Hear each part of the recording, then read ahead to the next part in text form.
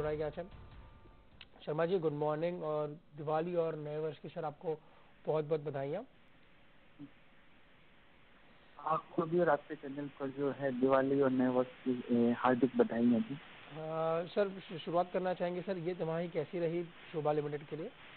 हम्म, हम्म, हम्म, जैसा कि हमने हमारे रिज़ल्ट डिक्लेयर किए थे फ्राइडे को बोर्ड मीटिंग होने के बाद में तो आपने देखा होगा कि हमारी ऑपरेशनल परफॉर्मेंस जो है, वो लगभग 20 परसेंट बेहतर रही पिछले क्वार्टर के अंदर में, पिछले साल के मुकाबले।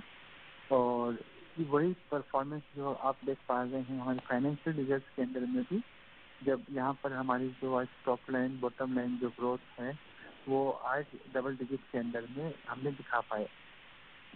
हमारा मानना है कि इस डिफ़िकल्ट मार्केट के अंदर में टफ इन्वायरमेंट के अंदर में जो है, हम सब जगह मार्केट शेयर गेन कर रहे हैं और हमारा जो उत्साह है, एक नए प्रोजेक्ट लॉन्च करने का, हमारे पिछले जो दस बारह क्वार्टर्स की आप परफॉर्मेंस देखेंगे, उसको मद्देनजर रख के वो अभी तक बना पड़ा है। अगले तीन चार क्वार्टर के अंदर में जो है लगभग नौ मिलियन स्क्वायर फीट के नए प्रोजेक्ट लॉन्च हो जाएँगे। और हम महसूस करते हैं कि despite all this kind of जो न्यूज़ एडवर्स हम सुन रहे हैं रियल एस्टेट मार्केट क्वालिटेटिवली जो है बेहतरी की तरफ़ जा रहा है कंसल्टेशन फ़ेज़ की तरफ़ जा रहा है और आने वाले समय में इसका जो लाभ है अच्छे डेवलपर्स को जो है भरपूर मिलेगा ऐसा हमारा मानना है हम्म, हम्म। ठीक है सर आप जिस तरह से बता रहे हो चैलेंजिंग एनवायरनमेंट है आप मार्केट शेयर गेन कर रहे हो सर लेकिन प्राइसिंग के फ्रंट पे क्या लग रहा है? अभी भी रियलाइजेशन वीक लग रहे हैं। रियलाइजेशन ट्रेंड अगर देख रहा हूँ तो लगभग अभी पाँच हज़ार नौ सौ रुपए के ऊपर दिख रहे हैं सर। यहाँ बढ़ोतरी होती कब नज़र आएगी? या आपको लग रहा है मोर और लेस ये साल ये रियलाइजेशन इसी रेंज में रहेंगे? देखिए हमारी जो नई सेल्स जो हो रही है अगर आप देखेंगे तो लगभग पैंतीस टका जो नई सेल है वो एक करोड़ या उससे नीचे की जो प्रोडक्ट्स है, वो बिकते हो रहे हैं।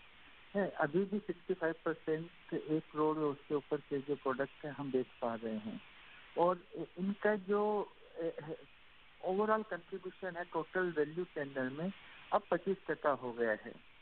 इसको अगर आप पिछले क्वार्टर के मुकाबले और पिछले सालों के मुकाबले देखिए तो पैंतीस परसेंट की जो है लगभग दो तीन गुना जो है बढ़ोतरी की तरफ़ आया है। और आने वाले समय में भी जो है जैसे जैसे हम नए प्रोडक्ट जो है, ये दो बेडरूम के हज़ार स्क्वायर फीट के अफोर्डेबल में लॉन्च करेंगे वैसे वैसे रिलाइजेशन जो है, लगभग जो है छह हज़ार के आसपास ही रहेंगे, ऐसा हमारा मानना है। लेकिन इसका जो है एडवर्स इम्पैक्ट हमारे जो है इबिका में या हमारे प्रॉफिट के अंदर में नहीं आएगा, ऐसा हमारा मानना है। हम हमारे मार्जिन को प्रोटेक्ट करेंगे और मार्जिन को ओवरऑल ग्रो भी करेंगे। और ये जो इंक्रीमेंटल सेल आ रही है वो टफ इन्वायरमेंट के अंदर में हमें जो है भरोसा दिलाती है कि मार्केट ग्रेजुअली एक्चुअल बायर्स की तरफ़ बढ़ रहा है और उनको जो जो प्रोडक्ट पसंद है वही हम बनाए और बेचे। इसी में हमारी इंडस्ट्री का जो है भला है और उसी चीज़ को फॉलो करते हुए हम भी आगे बढ़ रहे हैं। Okay okay. शर्मा जी, और एक चीज़ भी ये समझना चाहेंगे मार्जिन में डेफिनेटली आप बोल रहे सर ग्रोथ होती हुई नज़र आएगी। फेस्टिव सीज़न सर अभी हमने जाती हुई देखी है, दशहरा था प्लस दिवाली थी सर यहाँ आपको किस तरह का अट्रैक्शन मिला है? इंक्रीमेंटल सेल्स फेस्टिव सीज़न की वजह से देखने मिली है? अच्छा प्रश्न है। हमने भी सुना बाज़ार से कि इस साल जो है, जो दिवाली, दशहरा जो गया है 10 अक्टूबर के बाद में उतना मन मुताबिक ओवरऑल नहीं गया है खर्चा लेकिन इसके बावजूद भी जहाँ तक हमारी कंपनी का सवाल है, हमारे जो नेक्स्ट जो क्वार्टर जो हैं, वो बेहतर रहेंगे और हम उसमें इम्प्रूवमेंट दिखाएँगे। ये अभी तक के ट्रेंड हमें बता रहे हैं। हम निश्चिंत हैं, हमने कोई बहुत लंबी चौड़ी जो है, क्योंकि हमें टफ इन्वायरमेंट पहले से मालूम था कि भी आज का इन्वायरमेंट है कंसल्टेशन और एक समय हेजिटेंट मार्केट से हमें जो कॉन्फिडेंट मार्केट की तरफ़ बढ़ने के लिए कदम उठाने हैं उस तरफ़ धीरे धीरे कदम उठाने हैं चलते और हम बढ़ भी रहे हैं। और मानते हैं कि इस क्वार्टर और अगले क्वार्टर के अंदर में हमारी परफॉर्मेंस जो है पहले क्वार्टर के मुकाबले बेहतर रहेगी।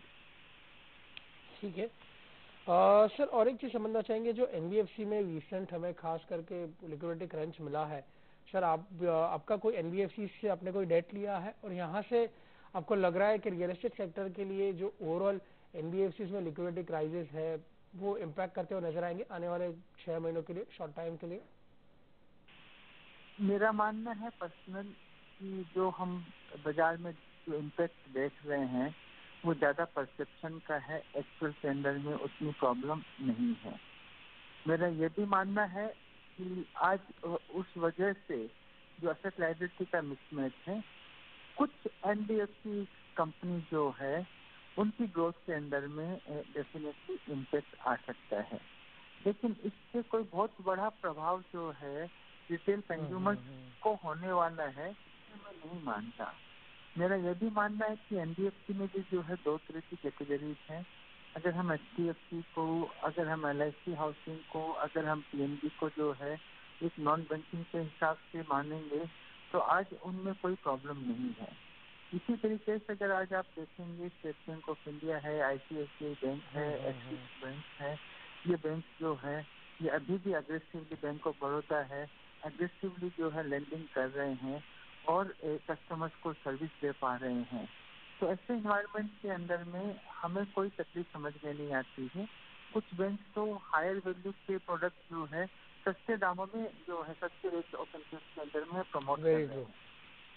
जहाँ तक डेवलपर्स फैसिलिटी की बात है थोड़ा रिफाइनेंसिंग के अंदर में और जो किसी तरीके से ऐसे डेवलपर्स को जिनकी बैलेंस शीट की स्ट्रेंथ नहीं थी लिक्विडिटी नहीं थी कैश फ्लो नहीं था फिर भी उनको जो पैसा मिल पा रहा था शायद उनमें से कुछ कंपनियों को जो है कुछ इम्पेक्ट हो गए बट वो ओवरऑल जो है इकोनॉमिक ग्रोथ के लिए बोलो या ओवरऑल सेक्टर के लिए बोलो मिनिमम रहेगा ऐसा मैं मानता हूँ। ओके सर सर एक आखिरी प्रश्न होगा। सर आपने मार्केट शेयर गेन की बात की थी। आ, सर आप अभी भी कौन सा ऐसा मार्केट है जो आपको अभी लिक्रेटिव लग रहा है? आपका जो मेन मार्केट है उसके अलावा कौन सी ऐसी जोग्राफीज होगी जहाँ एक्सपांशन आप करते हुए नज़र आए? हम जो है इमीडिएटली अगर आप देखेंगे तो केरला मार्केट में हमारा फोकस बना हुआ है।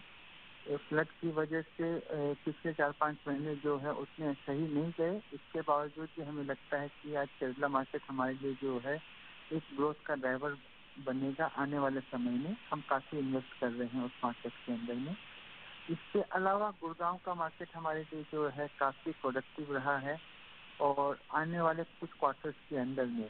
नॉट इमीडिएटली अगले दो तीन क्वार्टर में बट बियॉन्ड दैट देखेंगे तो उन्नीस बीस से जो है हमारा दिल्ली गुड़गांव मार्केट जो है उसमें हमारा ग्रोथ हमारा न्यू प्रोजेक्ट लॉन्चेज जो है काफ़ी बढ़ेगी सेक्टर है। इसके बाद जो है चेन्नई मार्केट में भी हम काफ़ी इन्वेस्ट कर रहे हैं काफ़ी नए लॉन्चेज करेंगे। वहाँ भी हमें लगता है कि ग्रोथ होगी। पहली बार गिफ्ट सिटी हम जा रहे हैं टच एंड गो अगले दो महीनों के अंदर में जो है प्रोडक्ट लॉन्च कर पाएँगे। अगर वहाँ पर अच्छा रिस्पॉन्स मिलता है तो वहाँ भी हम अपना पेनिट्रेशन जो है बढ़ाएँगे। और हमें लगता है कि ये सब सिटी जहाँ पर ग्रोथ प्रोस्पेक्ट रिलेटिवली ज़्यादा है वहाँ पर हमारा एक रोल है क्योंकि हम अफोर्डेबल हाउसिंग से लेके हाई वैल्यू प्रोडक्ट बेचते हैं। और आने वाले समय में जो है इन सारे प्रोडक्ट्स की ऑफरिंग हम इन मार्केट्स में दे पाए ऐसा हमारा विश्वास है। हम हैदराबाद मार्केट में अगले साल जो है प्रवेश कर पाएँगे ऐसा विश्वास है।